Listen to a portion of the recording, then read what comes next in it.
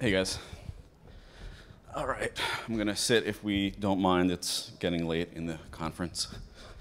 Um, before we start, has, has anyone here, and I hope I could even see you guys, the lights are pretty bright. Has anyone here launched an NFT project before, or tried to, attempted to? Anyone get far? Yeah? Anyone not get far? where, uh, where were the issues? You're raising your hand over there. What was, what was difficult for you?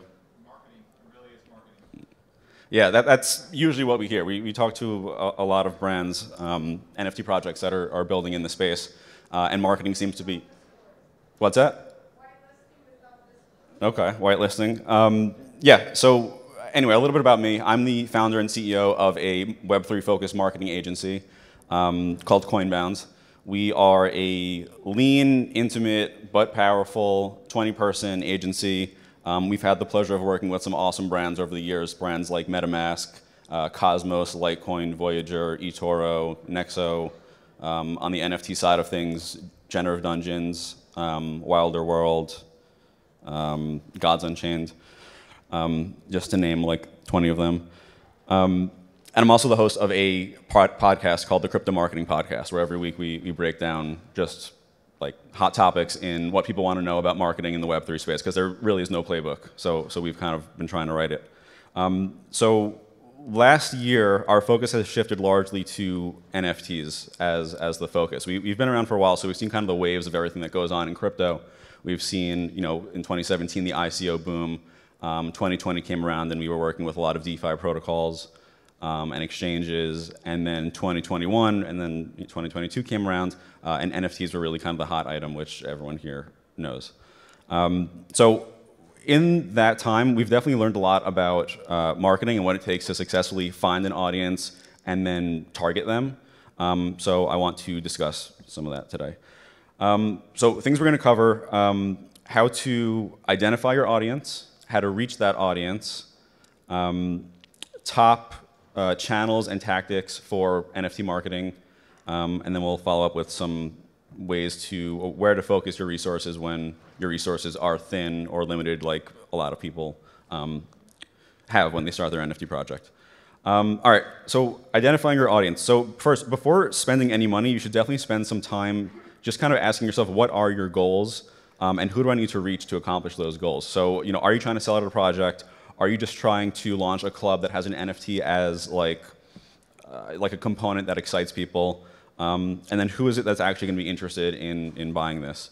Because um, marketing is largely about communicating the exchange of value.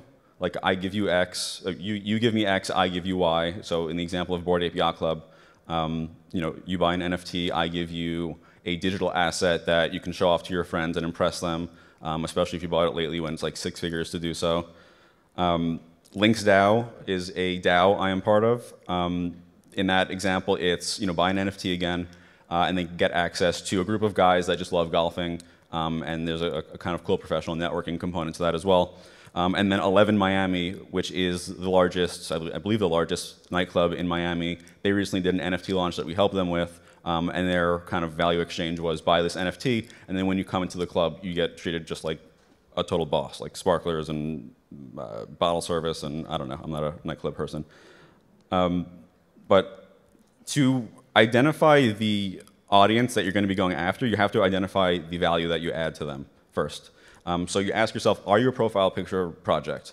Are you um, offering in-person or um, online uh, networking events, things like that? Um, are you based around a specific set of values or uh, interests? Um, and doing all those things will help you ask yourself, like, why would someone buy this? And, and that's really where your head should be at when, before you do anything with marketing. You'll save tons of time and, more importantly, tons of money if you say if you spend some time rather than just blasting it out to everyone.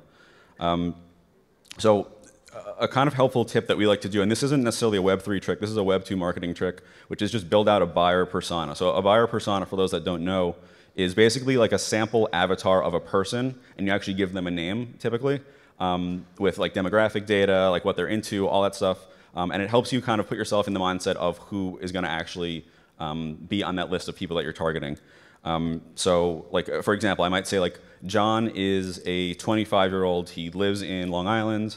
Um, he works in Manhattan in finance, whatever. He makes 150K. Uh, that stuff doesn't matter so much. Um, and then every morning, John takes the Long Island Railroad to uh, the city where he gets his crypto news on Twitter, um, as well as just like you know Google News, let's say. Um, so knowing that information, you can kind of start reverse engineering the different marketing channels that you want to play around with. Um, so you can start asking yourself things like, you know, can I advertise my NFT project on the Long Island Railroad? Yeah, the answer is yes, actually. Um, I've spoken with them recently, and that's I, I was kind of surprised by that. Um, can you run Twitter ads uh, for your NFT project? The answer is also yes. Um, can I reach out to an influencer that John follows and get them to talk about my NFT project? Again, something you can do. Um, and you get that's just kind of like a, a, good way to like frame your mindset when when doing marketing. Um, so let's go into and, and and a lot of people the, the, pushback that we get on that when we recommend that to people is, um, but John's just one person, and the answer is John's not one person. They're, like humans are not that unique. Like a lot of people are very similar. Um, there's thousands of Johns, or maybe even tens of thousands. There's enough to sell at an NFT collection to to targeting John. All right, so top channels and tactics for NFT marketing. So um, Discord is huge. Obviously, I think most people here know what Discord is. It's the home for online communities for NFT projects. Um, it is where people talk and engage, and it's just where the online community lives, essentially online. Um, it's really important to have that you know, keyed in regarding well set up with the right servers, uh, sorry, right channels, right bots, right um, roles, um, and then get it well moderated. So it could be you know your team in the beginning, but eventually you want to get to someone that's like outsourced or lower level, so you can focus on more high level things. Um, but someone that keeps people engaged, does AMAs, FAQs, polls, stuff like that. Um, next option that a lot of people don't really know about is the collaboration component to NFT marketing. Um, whatever stage you're in, and if you're especially if you're in the early stages of NFTs of an NFT launch. Um, there are people that are just slightly ahead of you that have maybe successfully launched their NFT you know, sold out or just sold some, and they have a community now that they have sort of an obligation to provide value to. Um, so you can reach out to them and say, hey, I have whitelist spots. Um, would you be interested in sharing that with your community? And the answer, surprisingly enough, is, is yes, or like just give me a couple hundred bucks for it. Um, and you get free marketing or cheap marketing, and they get a, a, form of value they could add to their community. So that, that's another kind of thing we're seeing a lot of. Um, earned media, earned media is just kind of you know PR. It works well for NFT projects if you have something unique at least, um, or at least can communicate what you do in a unique way. Um, you can work with an agency like you know like us, not to plug myself, but you know marketer is going to market, um, and we can definitely help uh, with the crafting of a pitch and getting it to the right people. Um, when it comes to focusing resources, especially early on, because you don't have an unlimited budget like you know some massive brands typically do. There's kind of two buckets that I break it down to. One is the community, and the other part is feeding the community. So the community, like I said, is Discord. Um, you want to get it set up again in, in, the most like kind of industry standard, industry best practice way.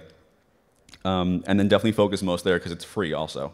Uh, you know, a moderator also is like maybe a thousand bucks a month um, if you want to offload that. And it's going to be important for the stickiness of any marketing that you do for NFTs because uh, what I'll get to next is basically the next stage of NFT marketing when you're limited on resources is to get people into your Discord. Because again, your Discord's free to you to run.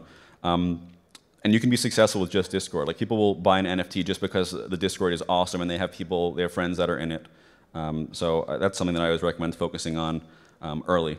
Um, and then the next part is feeding the community. So feeding the community, I basically just mean external like marketing type things that get people into Discord. Things like you know, Times Square billboards, for example, we see a lot of when we walk outside. Um, things like Twitter ads, like I mentioned, um, earns media, really anything outside of that, all in my opinion should be focused on on getting people into Discord because that's where you can engage with people like forever, basically. Um, and again, a lot where the value is. Uh, you can pay influencers as well. We see a lot of that. Um, and this is where a lot of money can be spent if you do it incorrectly. So what we recommend, which is uh, kind of just common knowledge for marketing a, a new product, is um, try a lot of different things first with a small budget, collect the data and get all your analytics, and double down on what works and cut what doesn't. And just keep doing that over time. Keep adding new options, keep cutting what doesn't work, keep adding what does work, uh, and eventually you have, you know, assuming you got your Discord done, um, you've covered both those two buckets for a pretty inexpensive amount, or at least a budget conscious amount. Um, so, uh, I mean, I'm coming up on time now, so I'm going to wrap things up. Um, if you're interested in working with an agency like Coinbound, just reach out to us. Coinbound.io is the website. Um, I'm also pretty active on Twitter. It's at Ty Daniel Smith. Um, I try to be uh, responsive to DMs and, and things like that. Um, but that's it. I, wow, right on the dot. All right, thank you guys.